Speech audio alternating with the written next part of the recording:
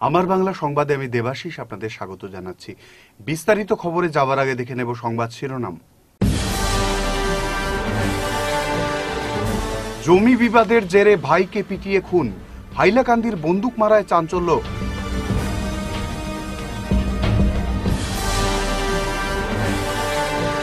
ঊনসত্তর বিধায়ক নিয়ে অসমে মহাজোটের সরকার হচ্ছে। হিসেব কষে দাবি সাজুর।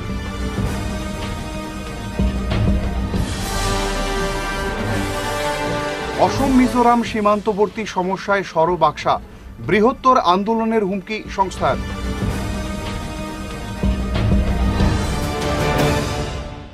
এবারে বিস্তারিত আমার বাংলা সংবাদ। হাইলাকান্দিতে জমি বিবাদের জেরে এক প্রৌঢ়কে নৃশংস পিটিয়ে হত্যা করল তারই তুতো ভাইয়েরা। বন্দুকমারা পুলিশ ফাঁড়ির অধীন বড় হাইলাকান্দি প্রথম খণ্ডে বুধবার সকালে রাস্তা দিয়ে দুপক্ষের মধ্যে বিবাদ দেখা যায়। এদিন সকালেই স্থানীয় বাসিন্দা জামাল উদ্দিন মজুমদারের বাড়ির সামনে রাস্তাটি তার প্রতিবেশী তথা তুতো ভাই সেলিম উদ্দিন মজুমদার, ফরিদ উদ্দিন মজুমদার, বাহার উদ্দিন মজুমদার, নূর উদ্দিন মজুমদার মিলে জবরদখল করে বেড়া দিয়ে বন্ধ করে দেয়। তখন জামাল তাদের বাধা দিতে গেলে জবরদখলকারীদের সঙ্গে তুমুল বৎসা শুরু হয়। একসময় বৎসা চরম পর্যায়ে গেলে ফরিদুদ্দিন মজুমদার পেছন থেকে মুগুর দিয়ে জামাল উদ্দিন মজুমদারের মাথায় জোরে আঘাত করে। এই আঘাতে জামাল রক্তাক্ত অবস্থায় মাটিতে লুটিয়ে পড়েন। তারপরও সেলিমরা আহত জামালের উপর চালায় পাশবিক নির্যাতন। তাকে পাথর, ইট এবং ধারালো অস্ত্র নিয়ে আঘাত সহ চলে উপর্যুপরি ঘুষি, কিল এবং লাথি। গুরুতর আহত জামাল উদ্দিনের আর্তনাদ শুনে গ্রামবাসীরা ছুটে এলে আক্রমণকারীরা পালিয়ে যায়। এলাকাবাসী সঙ্গে সঙ্গে বন্দুকমারা পুলিশ ফাঁড়িতে জানালেও পুলিশ ঘটনাস্থলে আসেনি। গ্রামবাসীদের আবেদনে সাড়া দিয়ে ছুটে আসেন হাইলাকান্দি জেলার অতিরিক্ত পুলিশ সুপার কুলেন্দ্রনাথ ডেকা, সদর থানার ওসি প্রণব কুমার শইকিয়া এবং সিআরপিএফ সহ বিশাল পুলিশ বাহিনী। গুরুতর আহত জামাল উদ্দিন মজুমদারকে আশঙ্কাজনক অবস্থায় হাইলাকান্দির এস কে রায় সিভিল হাসপাতালে নিয়ে যাওয়ায় রাস্তাতেই তার মৃত্যু ঘটে। এই ঘটনার পরিপ্রেক্ষিতে বড় হাইলাকান্দি এলাকার বাসিন্দারা বন্দুকমারা পুলিশ ফাঁড়ির ইনচার্জ মৃদুল বড়ার ভূমিকায় তীব্র ক্ষোভ ব্যক্ত করেন। হাইলাকান্দি সদর থানার ওসি জানিয়েছেন, মৃত জামাল উদ্দিনের হত্যার বিবরণ জানিয়ে তার পুত্র দিলুয়ার হোসেন কয়েকজনকে অভিযুক্ত করে একটি মামলা দায়ের করেছেন। এই নারকীয় হত্যাকাণ্ডে বড় হাইলাকান্দি সহ জেলা জুড়ে তীব্র চাঞ্চল্যের সৃষ্টি হয়েছে। ঘটনার সঙ্গে জড়িত দুষ্কৃতীরা গা ঢাকা দিয়েছে বলে জানা গেছে। ঘটনার ব্যাপারে এদিন সংবাদ মাধ্যমের কাছে বিস্তারিত তুলে ধরেন জামালের পুত্র দিলুয়ার হোসেন। উনসত্তরটি আসন নিয়ে অসমে মহাজোটের সরকার গঠন হচ্ছে। কংগ্রেস ইউডিএফ এর মহাজোটকে অসমের জনগণ গ্রহণ করেছেন। বুধবার বিকেলে সাংবাদিকদের প্রশ্নের উত্তরে এমনটাই জানালেন এআইইউডিএফ এর সাধারণ সম্পাদক তথা সোনাই কেন্দ্রের প্রার্থী করিম উদ্দিন বড়ভূঁইয়া উর্ফে সাজু। তিনি হিসেব করে বলেন, প্রথম পর্যায়ে নির্বাচনে বাইশটি, দ্বিতীয় পর্যায়ে একুশটি ও তৃতীয় পর্যায়ে ছাব্বিশটি আসন নিয়ে মহাজোটের সরকার গঠন করা এখন শুধু সময়ের অপেক্ষা। ব্লক কংগ্রেস ও ব্লক ইউডিএফ এর কর্মকর্তাদের পাশে বসিয়ে সাজু এও বলেন সোনাইয়ে জয়ী হচ্ছেন তিনি। দ্বিতীয় স্থানে থাকবে বিজেপি। আপনারা সোজা সোজা হিসাব ফার্স্ট ফেজ বাইশ সেকেন্ড ফেজ একুশ থার্ড ফেজ ছাব্বিশ। বোরাগুলিতে কতটা সিট আছে? মিনিমাম মিনিমাম এগারোটা। এগারোটার নিচে আসবে না। ইলেভেন প্লাস পনেরোটা হলে অস্বাভাবিক কিছু না। চারটা সিটে নেক টু নেক আছে কেউ না কেউ পারে বাট এগারোটা ক্লিয়ার আপনার আমার হিসাবে তো প্লাস তো মিনিমাম থাকবে। মিনিমাম পঁচিশ হাজার সাথে? দ্বিতীয় স্থানে বিজেপি থাকবে। এদিন ধনেহরি কাণ্ড নিয়ে করিমউদ্দিন বলেন পুলিশ সঠিকভাবে তদন্ত করছে। প্রশাসন খুব শীঘ্রই দোষীদের গ্রেফতার করবে বলে আশা ব্যক্ত করেন তিনি। মহাজোটের পক্ষে মতদান করায় সোনাইর জনগণকে তিনি ধন্যবাদ জানান। সাংবাদিক বৈঠকে উপস্থিত ছিলেন সোনাই ব্লক কংগ্রেস সভাপতি খসরু আলম চৌধুরী। সাধারণ সম্পাদক বাবুল আহমেদ বড়ভুইয়া সোনাই, এআইইউডিএফ সভাপতি খালেদ হাসান লস্কর, যুব ইউএফ এর সভাপতি জাকির হোসেন লস্কর, নজরুল হক বড়ভুইয়া মাসুম বড়ভুইয়া প্রমুখ। জানাই, ধিক্কার জানাই। সেখানে জনসাধারণ আইনের আশ্রয় নিয়েছেন, থানাতে এফআইআর করেছেন। পুলিশ যথাযথ ব্যবস্থা, ইসে পুলিশ যথাযথভাবে এইটার আপনার ইনভেস্টিগেশন করছে, তার জন্য পুলিশ প্রশাসনকে ধন্যবাদ। আর আমরা মোটামুটি ধরেন আমার বিশ্বাস যে আমরা এটা আইনগতভাবে পুলিশ যথোপযুক্ত ব্যবস্থা গ্রহণ করবে, তারপরে আমরা কোর্ট থেকে ন্যায় বিচার পাবো। আসাম, মিজোরাম সীমান্তবর্তী অঞ্চলগুলো অবৈধভাবে মিজো দুষ্কৃতীরা দখল করার উদ্দেশ্যে সরব হল আকসা। বুধবার সন্ধ্যায় শিলচর প্রেস ক্লাবে এক সাংবাদিক সম্মেলন করে সংগঠনের উপদেষ্টা রূপম নন্দী পুরকায়স্ত বলেন, মিজো দুর্বৃত্তদের একটি দল। গত কয়েকদিন ধরেই আসাম, মিজোরাম সীমান্তে কাছাড় জেলার বেশ কয়েকটি অঞ্চল অবৈধভাবে দখলের চেষ্টা চালিয়ে যাচ্ছে। তাছাড়াও সীমান্তবর্তী এলাকায় বেশ কয়েকটি বাড়িঘর জ্বালিয়ে দিয়েছে, যার দরুন স্থানীয় বাসিন্দাদের আতঙ্ক ও উদ্বেগের মধ্যে দিন যাপন করতে হচ্ছে। প্রায় মাস চারেক আগে সীমান্ত বিবাদ চলাকালীন ধলাই বিধানসভা কেন্দ্রের এক নিম্ন প্রাথমিক বিদ্যালয়ে নিরাপত্তা কর্মীদের মোতায়েন করা হয়েছিল, কিন্তু বরাক উপত্যকায় বিধানসভা নির্বাচন ঘনিয়ে এলে তাদের স্থানান্তরিত করা হয় নির্বাচনের তিন দিন আগে। এর সুযোগ নিয়ে দুষ্কৃতীরা আবার বেআইনিভাবে তাদের কার্যক্রম শুরু করেছে বলে অভিযোগ করেন। অতি সত্বর সেই সমস্যার সমাধান না হলে তারা বৃহত্তর আন্দোলন গড়ে তুলবে বলে হুঁশিয়ারি দেন। এদিনের সাংবাদিক সম্মেলনে অন্যান্যদের মধ্যে উপস্থিত ছিলেন সুব্রত দাস, সুকোমল দাস, জয়শ্রী নাথ সহ অন্যান্যরা। আবার নতুন করে আসাম মিজোরাম সীমান্তে উগ্র মিজোদের দাপট শুরু হয়েছে। আসামের জমি জবরদখল করার অপপ্রয়াস শুরু হয়েছে। আমরা তার বিরুদ্ধে সরব হয়েছি। আমরা কেন্দ্রীয় এবং রাজ্য সরকারকে জানান দিতে চাই, যদি এ ধরনের অভিযান তাদের চলতে থাকে, তাহলে আকশা সেটাকে খোলা মনে মেনে নিতে পারে না। ধরাই খাল স্কুল থেকে নিরাপত্তা বাহিনী নির্বাচনের তিন দিন আগে তুলে নেওয়ার পর সেখানে মিজ উগ্রপন্থীরা এর সুযোগ নিয়েছে এবং সেখানে প্রবেশ করে সেই সেই অঞ্চলের আসামের যেসব বসত বাড়ি আছে, সেখানে অগ্নিসংযোগ থেকে শুরু করে সেখানে ক্রস বাসের মাধ্যমে ক্রস লাগিয়ে তারা তাদের দখলে নেওয়ার চেষ্টা করছে। এটা অত্যন্ত অন্যায় অমানবিক।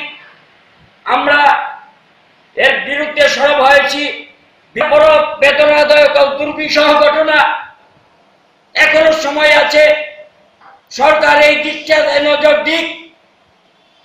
না হলে তার ফল হবে মারাত্মক। সোনাই বিধানসভা কেন্দ্রে পয়লা এপ্রিল ভোটের দিন শেষ লগ্নে আটশো তেষট্টি নং ধনেহরি এলপি স্কুল ভোট কেন্দ্রে হিংসাত্মক ঘটনার তদন্ত জোরদার করার দাবি জানালেন সোনাই তৃণমূল কংগ্রেসের প্রার্থী শান্তিকুমার সিংহ। বুধবার এ মর্মে কাছাড়ের জেলাশাসক মারফত এক স্মারকপত্র রাজ্য নির্বাচন কমিশনের কাছে পাঠিয়ে ওই দিনের ঘটনার মূল রহস্য বের করার দাবি জানান। ওই দিন ঘটনাস্থলে নাইন এমএম পিস্তল ও গুলিকাণ্ডের তদন্ত নিরপেক্ষ করার দাবি জানান তিনি। শান্তি সিংহ বলেন, সোনাইবাসী জাতি ধর্ম বর্ণ নির্বিশেষে তাকে সমর্থন জানিয়েছেন। ভোটে বহিরাগত ও ভূমিপুত্রের লড়াই হয়েছে বলে উল্লেখ করেন তিনি। অতি সত্তর। এই অ্যাক্টগুলো, ইন্ডিয়ান পিপলস রিপ্রেজেন্টেশন অ্যাক্টের ধারা একশো চৌত্রিশ বি অনুযায়ী এবং আর্মস অ্যাক্ট যে হয়েছে নাইনটিন ফিফটি ওয়ান অনুযায়ী, অতি সত্তর। যারা কালপ্রিত তাদেরকে বের করা হোক, তাদেরকে শাস্তি দেওয়া হোক এবং যদি দরকার পড়ে আজটা শুনাইতে আবার রিপোল হতে হবে। কারণ আমি জেনেছি যে যখন এইখানে আগ্নেয়াস্ত্র ধরা পড়েছে, তখনই মানুষের জনসংখ্যা এসেছে। আগে যদি ধরা পড়তো না, ওই আগ্নেয়াস্ত্র দেখিয়ে কতজনকে ভয় ভীতি দেখাতে পারতো? এইখানে সেইভাবে দু নম্বরই রাস্তা অবলম্বন করে করাপশন অবলম্বন করে টাকা পয়সা বিলি করে হোক, ভয় ভীতি দেখিয়ে হোক, এখানে জুড়ে ভোট তারা নিশ্চয়ই সংগ্রহ করেছে। এর জন্য আমার সন্দেহ রয়েছে, আশঙ্কা রয়েছে, শুনাইতে সেই রকম কিছু একটা ঘটেছে। তাই আমি বলছি, ইলেকশন কমিশনের দৃষ্টি আকর্ষণ করছি। তদন্ত প্রক্রিয়া যদি শুরু হয়ে থাকে, জোরকদমে হোক অতি সত্তর, কালপিটকে বের করুন এবং তাদেরকে যারা যেখানে দোষী সাব্যস্ত হয়, তাদেরকে শাস্তি প্রদান হোক এবং যদি দরকার পড়ে, শুনাইতে আবার রিপোল হোক, শুনাইতে আবার ভোট হোক, আমি চাই যাতে জনগণ তাদের ফ্র্যাঞ্চাইজি ইচ্ছা মতো নির্ভয়ে তারা ভোট প্রদান করে, তাদের ইচ্ছা মতো তাদের পছন্দের প্রার্থীকে বাছাই করতে পারে। শিলচর শহরের পানীয় জলের বেটারমেন্ট ট্যাক্স প্রায় পঞ্চাশ টাকা বৃদ্ধি করার দাবিতে সরব হলেন শিলচরের বিধায়ক তথা নির্দল প্রার্থী দিলীপ কুমার পাল। গত পয়লা এপ্রিল থেকে পানীয় জলের ট্যাক্স বৃদ্ধি করার ফলে পুরসভার এই কাণ্ড কারখানাকে সম্পূর্ণ বেআইনি আখ্যা দেন তিনি। বুধবার এ মর্মে রাজ্যের মুখ্য সম্পাদক শিলচর বিধানসভা চক্রের অবজারভার ও জেলাশাসক কীর্তি জল্লির উদ্দেশ্যে এক স্মারকপত্র পুরসভার এক আধিকারিকের হাতে তুলে দেন তিনি। এতে উল্লেখ করা হয়, অতি সত্বর এই বর্ধিত ট্যাক্স প্রত্যাহার করতে নির্বাচনী আইন বলবৎ থাকা অবস্থায় এই কাণ্ড কারখানা করেছেন পৌরসভার দায়িত্বপ্রাপ্ত আধিকারিকরা বলে জানান তিনি। তাছাড়া দিন কয়েক আগে ফাটকবাজার এলাকার দোকান ঘরগুলোর ভাড়া অনৈতিকভাবে বাড়িয়ে দেয় পৌরসভা কর্তৃপক্ষরা। অবিলম্বে এসব সিদ্ধান্ত প্রত্যাহার না করা হলে গণতান্ত্রিক আন্দোলনে মাঠে নামবেন তিনি বলে জানান। শিলচর শহরবাসী যে পানীয় জলের বোর্ড দিয়ে থাকেন, যাকে ব্যাটারমেন্ট ট্যাক্স বলা হয়, সেটা পঁচাত্তর টাকা থেকে এক ধাক্কায় পঞ্চাশ টাকা বাড়িয়ে একশো পঁচিশ টাকা করে দেওয়া হলো। আমি তাকে জিজ্ঞেস করলাম ফোনে এটা কি সত্যি? উনি স্বীকার করলেন? আমি বললাম, আপনি মডেল কোড অফ কন্ডাক্ট চলছে। এমসিসি চালু আছে, সমস্ত আসাম রাজ্যে। এই অবস্থা আমরা যতটুকু জানি, কোনোভাবেই পলিসি মেকিং করতে পারেন না, কোনো কিছু ডে টু ডে ওয়ার্ক একমাত্র করতে পারেন আপনারা। তা সরকারের কর্মচারী হোক সরকারি হোক, মন্ত্রীরাই হোক, দৈনন্দিন কাজ করতে পারেন, কিন্তু এভাবে ট্যাক্স বাড়ানোর কোনো অধিকার আপনার আছে কি না আপনি সেটা ভালো করে বুঝে নিন। এটাও সব সম্পূর্ণভাবে আইনের অবর্জিত উল্লঙ্ঘন হচ্ছে। দ্বিতীয়ত তখন তিনি বললেন, যারা পনেরো সাল পেলে ও পনেরো সাল সে ভাড়া নিয়ে এসলে ভাড়া দেয় এটা কি কোনো কথা হলো? ওই যে হবুচন্দ্র রাজা হবুচন্দ্র মন্ত্রী, পনেরো সাল পেলে, পনেরো সাল সে ট্যাক্স ভাড়া নিয়ে এসলে उन्होंने ভাড়া দিয়া আচ্ছা কাম দিয়া। তো এটা অন্যায় জিনিস, অবাস্তব অনৈতিক। আমি সেটার প্রতিবাদ করে চিঠি দিয়েছি, ডিসিকে জানিয়েছি। এবং chief chief secretary of Assam তাকেও অবগত করিয়েছি। সেটা উদ্র করার জন্য আমি দাবি জানিয়েছি। চৈত্র সেলে জমে উঠেছে শহর শিলচর। গোটা দেশের সাথে যখন রাজ্যেও করোনার দ্বিতীয় ঢেউ উপচে পড়ার খবর ইতিমধ্যেই ভাইরাল হয়ে গেছে, ঠিক সেই সময়ই বিষয়টিকে তুড়ি মেরে চৈত্র সেলে কেনাকাটা করতে শহর, শহরতলি সহ বিভিন্ন প্রত্যন্ত অঞ্চলের ক্রেতারাও ভিড় জমাচ্ছেন শহরে। বুধবার শহরের নাজিরপট্টি সেন্ট্রাল রুট সহ দেওয়ানজি বাজার, প্রেমতলা ইত্যাদি এলাকায় তীব্র যানজটে নাজেহাল হয়ে পড়েন সাধারণ পথচারীরা। চৈত্র সেলের জন্য রাস্তার দুই ধারে ফুটপাত দাখিল করে থাকা ব্যবসায়ীদের ফুটপাত মুক্ত করে দেওয়ার জন্য কাঁচা ট্রাফিক পুলিশ অভিযানে নামেন এদিন, যাতে সাধারণ মানুষের পথ চলতে কোনো অসুবিধার সম্মুখীন হতে না হয়। তারা জানান, জেলা প্রশাসনের নির্দেশনায় কাছার ট্রাফিক পুলিশ নিজস্ব তত্ত্বাবধানে এই অভিযান চালাচ্ছে। তারা ব্যবসাটা দোকানে করবে। রাস্তা বন্ধ করিয়া ফুটপাথ বন্ধ করিয়া হাজার হাজার মানুষের প্রবলেম হয়ে দোকানদারি হয় না। ওই নাকি বলতো আপনারা? এই এই জন্য হাজার হাজার মানুষের প্রবলেম ফেস করে। রাস্তা ব্লক হয় অ্যাম্বুলেন্স আটকে যায়। হ্যাঁ এই জন্য দশ মানুষ যদি ব্যবসা না করে কিন্তু ফরক পড়তো না। কিন্তু যদি অ্যাম্বুলেন্সের রুগী মরে যায় তো বহুত ফরক পড়ব। এটা জেলা প্রশাসনের নির্দেশ না আপনাদের আমরা আমরা ট্রাফিকের লাগে করতেছি আমরা ট্রাফিক রেগুলেশন থাকব তারা ব্যবসা জায়গায় করব। ট্রাফিকের লাগে আমরা করতেছি এটা। পাথারকান্দি ইউবিআই ব্যাংকে প্রতিদিনই গ্রাহকদের উপচে পড়া ভিড়ে নানা সমস্যার মুখোমুখি হতে হচ্ছে নিয়মিত ব্যাংক উপভোক্তাদের। বিষয়টি নিয়ে সচেতন গ্রাহকেরা বার কয়েকবার বিভাগীয় ম্যানেজারের দৃষ্টি আকর্ষণ করলেও কোনো সমাধান হয়নি। প্রতিদিন ব্যাংক কার্যালয়ের দ্বিতল ভবনের বারান্দায় আড়াই থেকে তিনশত গ্রাহকরা দীর্ঘ সারি দিয়ে ঘণ্টার পর ঘণ্টা লাইনে দাঁড়িয়ে ব্যাংকের লেনদেনের কাজ করতে হয়, ফলে চরম সমস্যার সম্মুখীন হতে হয় বলে অভিযোগ জানা যায়। এদিকে রাজ্যে ফের মারণব্যাধি করোনার প্রকোপ দেখা দিয়েছে। সামাজিক দূরত্ব সহ কোভিড প্রটোকল না মেনে প্রতিদিনেই ব্যাংকে কাজকর্ম চলছে। সম্প্রতিকালে করিমগঞ্জ জেলায় একজনের দেহে করোনার বীজাণু ধরা পড়ার খবর স্বীকার করেছে স্বাস্থ্য বিভাগ। বিষয়টি নিয়ে ইতিমধ্যেই জেলা প্রশাসন সবাইকে সতর্ক করে দিলেও অনেকেই সরকারি নির্দেশের এই বিষয়টি তুড়ি মেরে ঘুরে বেড়াচ্ছেন। আশ্চর্যজনক ব্যাপার হলো, এই ইউনাইটেড ব্যাংকে গ্রাহকদের যে পর্যন্ত বীর কোনো ধরনের প্রোটোকল মেনে নেওয়া হচ্ছে না। উপরতলা থেকে নিচুতলা পর্যন্ত গ্রাহকদের ভিড় প্রায় দু, তিনশো গ্রাহক এখানে সারিবদ্ধভাবে লেনদেন করছেন। আমি বিশেষ করে United Bank of India Patharkandi ব্রাঞ্চের কর্তৃপক্ষের দৃষ্টি আকর্ষণ করছি। আমাদের করিমগঞ্জ জেলার ডেপুটি কমিশনার মহাশয়ের দৃষ্টি আকর্ষণ করছি, যেন অতি সত্বর প্রোটোকল মেনে ইউনাইটেড ব্যাংকে লেনদেন করা হয় এবং জনগণের হিতার্থে যাহাতে ইউনাইটেড ব্যাংক কাজ করে, আর এই করোনা ভাইরাসের মতো প্রকোপ থেকে আমাদের জনগণকে বাঁচিয়ে তুলে। মাওবাদী হামলায় শহীদ হওয়া ভারতীয় সেনা জওয়ানদের প্রতি শ্রদ্ধাঞ্জলি নিবেদন করল অখিল ভারতীয় পরিষদের লোয়াইরপুয়া এলাকার শিবেরগুল শাখা। এ মর্মে মঙ্গলবার সন্ধ্যায় সংগঠনের পক্ষ থেকে বাজারি ছড়াস্থিত শহীদ বেদিতে পুষ্পার্ঘ অর্পণ করে বাইশ জন শহীদদের উদ্দেশ্যে বাইশটি মোমবাতি জ্বালিয়ে শ্রদ্ধা নিবেদন করেন সংগঠনের কর্মকর্তারা। পরে বীর শহীদদের আত্মার চিরশান্তি কামনা করে দু মিনিট নীরবতাও পালন করা হয়। পাশাপাশি আহতদের দ্রুত আরোগ্য কামনা করেন তারা। এদিন প্রত্যেক কর্মকর্তারা নকশালদের এহেন অমানবিক ও হিংসাত্মক আচরণকে ধিক্কার জানান। ভারতের সিআরপিএফ এর বাইশ জন জওয়ান নিহত হয়েছেন। বলিদান দিয়েছেন এই ভারত মায়ের জন্য এবং যে কার্যটি সংগঠিত হয়েছে অত্যন্ত কাপুরুষিত এবং আমি অখিল ভারতীয় বিদ্যার্থী পরিষদের পক্ষ থেকে আমি তীব্রভাবে নিন্দা জানাই এবং এই মাওবাদীদেরকে আমি ধিক্কার জানাই তাদের এই কার্যকলাপের জন্য এবং এইভাবে আমাদের যে জওয়ানদেরকে হত্যা করেছে এই হত্যার মাধ্যমে তারা কোনোদিন তাদের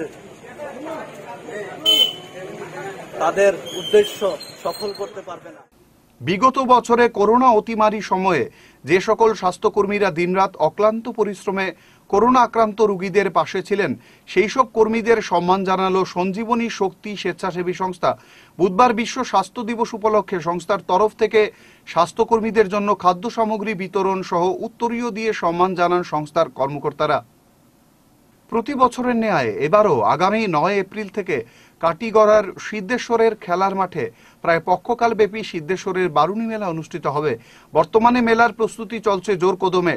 ঐতিহ্যবাহী সিদ্ধেশ্বর বারুণী স্নানকে ঘিরে বদরপুর ঘাটের ঠান্ডারপুর সংলগ্ন সিদ্ধেশ্বর কপিলাশ্রম মন্দিরে পরিণত হয় বরাক নদীর দুই তীরের দর্শনার্থীদের মিলন মেলা এই বারুণীর পুণ্যস্নানে বরাক উপত্যকার তিন জেলা এবং ত্রিপুরা রাজ্য ডিমা হাসাও জেলা থেকে হাজার হাজার পুণ্যার্থী দর্শনার্থীদের সমাগম হয়। সন্ধ্যায় এক অপরূপ আরতিতে মুখরিত হয়ে ওঠে বরাক নদী। সুদীর্ঘ বছর আগে থেকে প্রতি বছর চৈত্রের মধুকৃষ্ণা ত্রয়োদশী তিথিতে বরাক নদীতে বারুণী স্নানে মিলিত হন হিন্দু ধর্মাবলম্বী মানুষ।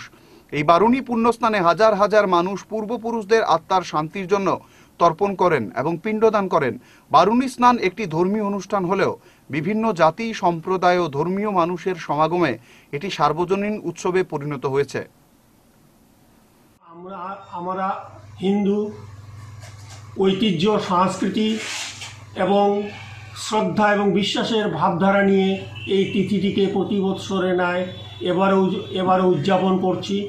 গতিকে আপনারা সবাই যে যেখানে থাকবেন, সবাই আসবেন এবং আমি আশা করছি আমাদের এই পরিচালন সমিতির সঙ্গে আপনারা সবাই সহযোগিতা করবেন, যাতে সুন্দর, সুশ্রীভাবে আমরা এই দিনটিকে উদযাপন করতে পারি। ভক্তবৃন্দের জন্য বিশেষভাবে আমরা জলের, পানীয় জলের ব্যবস্থা করেছি। তারপর এখানে যে কোনো রকমের যদি অসুবিধা হয় ভক্তবৃন্দের, তাহলে আমাদের এখানে যথেষ্ট সংখ্যক ভলেন্টিয়াররা থাকবে। যে কোনো ভলেন্টিয়ারকে যে কোনো সমস্যা নিয়ে বললেই সেই সমস্যা আমরা সমাধান করে দেব। গতিকে নিঃসংকোচে শ্রদ্ধা, ভক্তির ভাব নিয়ে মন্দিরে আসুন। মন্দিরে আসলে পরেই আমরা আমাদের নিজেকে চিনতে পারব। আমাদের ভিতর ধর্মীয় ভাব, আমাদের ভাব আমাদের ভিতর যে ধর্মীয় অনুভূতি, সেই অনুভূতি প্রকট হয়ে আরও ফুটে আসবে। গতিকে সবার প্রতি বিনম্র আবেদন। সবাই আসুন। কিন্তু সঙ্গে সঙ্গে একটা কথা বিশেষভাবে বলে দিচ্ছি। কোভিড প্রোটোকল মেনে আসবেন মন্দিরে। ঝড় অগ্নিকাণ্ডে ক্ষতিগ্রস্ত হওয়া অসহায় মানুষের পাশে দাঁড়ালেন মোহনপুর বর্ণিব্রিজ জিপির সভানেত্রী দেওন্তী রবিদাস। সম্প্রতিকালে বিধ্বংসী ঝড়ে মোহনপুর গ্রান্টের মল্লিকা কৈরি, সত্যনারায়ণ কাহার, গৌরী শঙ্কর বাগতি প্রমুখ ব্যক্তিগণের বসতবাড়ি প্রাকৃতিক দুর্যোগে তছনছ হয়ে যায়। এছাড়া বর্ণিব্রিজ এলাকার মুজিবুর রহমানের বসতবাড়ি অগ্নিকাণ্ডে ব্যাপক ক্ষয়ক্ষতি হয়। বুধবার অসহায়দের ব্যক্তিগত তহবিল থেকে এক বান্ডিল টিন প্রদান করে অসহায়দের পাশে দাঁড়ান জিপি সভানেত্রী দেওন্তী রবিদাস। আজকে মোহনপুর জিপি প্রেসিডেন্টের পক্ষ থেকে জলে ক্ষতিগ্রস্ত মানুষের মধ্যে টিন বন্টন করা হয়েছে। এই টিন বন্টন করার ব্যাপারে আপনি কি মন্তব্য করতে চান? বন্টন করার ব্যাপারে আমি বলতে চাই আমাদের বর্ণিবেশ মোহনপুর পাঁচ নম্বর গ্রুপের আমাদের যে জিপি যে প্রেসিডেন্ট জয়ন্তী রবিদাস আমারও তুফানে গরু ভেঙেছিল তাই ওনার কাছে এসে আমরা অভিযোগ করেছি। অভিযোগ করার পরে তিনি আমরাকে টিন দিয়েছেন। টিন দিয়ে আমরা অনেক খুশি হয়েছি অনেক ধন্যবাদ। উনি যেন আগের দিকে আরও বেড়ে যেতে পারেন এটাই আমার আশীর্বাদ। আরও আমাদের গ্রামে অন্যান্য দিক দিয়েও উনি আমাদেরকে বহু সাহায্য করেছেন। আপনার নাম কি? আমার নাম শ্রী সত্যনারায়ণ কাহার। আপনি কোন গ্রুপের সদস্য? আমি পাঁচ নম্বর গ্রুপের সদস্য। আপনি নিজেই কি না প্রতিনিধি? না না আমি নিজেই। পুরো নাম কি? হ্যাঁ সত্যনারায়ণ কাহার। শেষ করার আগে বিশেষ বিশেষ খবর আরও একবার। জমি বিবাদের জেরে ভাইকে পিটিয়ে খুন। হাইলাকান্দির বন্দুক মারায় চাঞ্চল্য।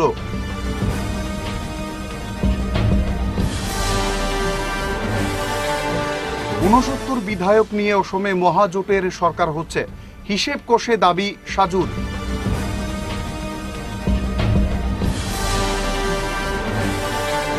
অসম মিজোরাম সীমান্তবর্তী সমস্যায় সরবাক্সা বৃহত্তর আন্দোলনের হুমকি সংস্থার।